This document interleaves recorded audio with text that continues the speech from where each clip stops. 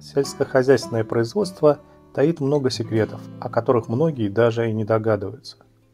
Например, чтобы вырастить вкусную и полезную землянику, приходится трудиться не только людям. В работу по опылению включились крылатые сотрудники из Голландии. А из Голландии привезено 100 тройных ульев, ну то есть э, в улье три семьи шмелей. У нас 200 ульев, но, к сожалению, погода холодная, и поэтому пчелы не все работают. вот почему-то наши шмели и пчелы в холодную погоду меньше летают, чем голландские. И мы вынуждены были привлекать гастарбайтеров. А голландские шмели летают в любую погоду, очень работоспособны. И мы уже два года используем этих шмелей. В прошлом году у нас был опыт с нашими шмелями, но наши фирмы, которые производят шмелей, они больше производят шмелей для теплиц.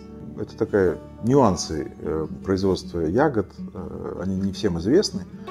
Вот. Но урожай после опыления гораздо лучше, чем просто после пчел. Шмели, да, они одноразовые, то есть один год, и после этого каждый год вынуждены покупать новых, э, новые семьи.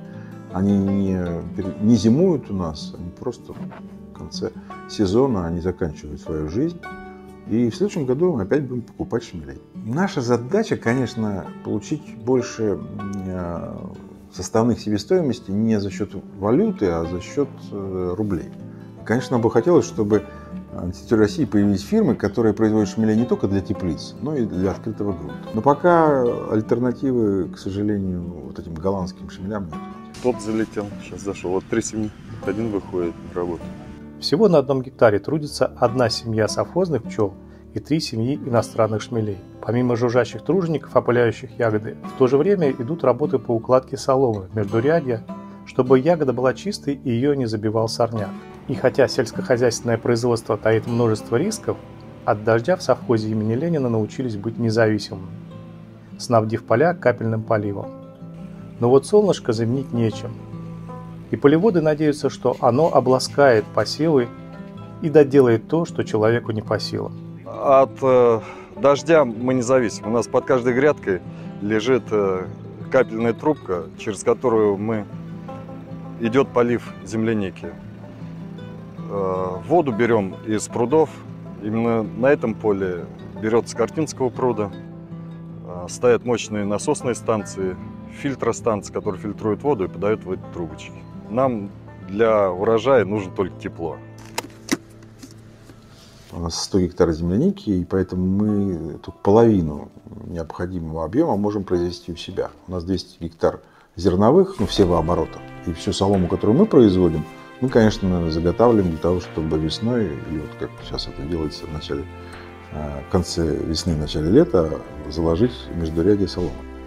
Но мы докупаем солому. В прошлом году мы купили где-то 500 тонн в общем, много достаточно соломы и соседних хозяйств, э, как правило, э, это проблема с перевозкой. К сожалению, мы вынуждены туда посылать свою технику, чтобы рулон э, крутить из соломы, потому что немногие имеют такую технику, как у нас. Но мы, видишь, в этом году полностью заготовили, то есть в прошлом году заготовили солому, сейчас мы ее используем.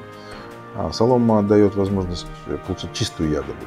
Потому что если ягода лежит на земле, то, естественно, от любого дождя она портится, пачкается, пылится. А на соломе вода проходит, а ягода остается чистой. Машины, к сожалению, по укладке соломы, они тоже немецкие. Они импортные. У нас в России не производится такие, такая техника, это специализированная техника, она только для ягодоводов. Именно тех, кто занимается э, ягодой земли. При уборке начинает э, ну, собирать в все, ее же рулонит с земли, ну, со стерни.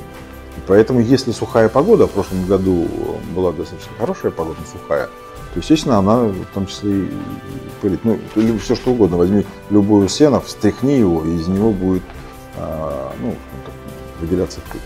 Мы предполагаем на основании того, что говорит гидромедцентр. Они все время меняют свои показания. И вот э, это же видно было. Краснодаре действительно был засуха. Было два месяца практически не было дождей. А сейчас у них там идут дожди.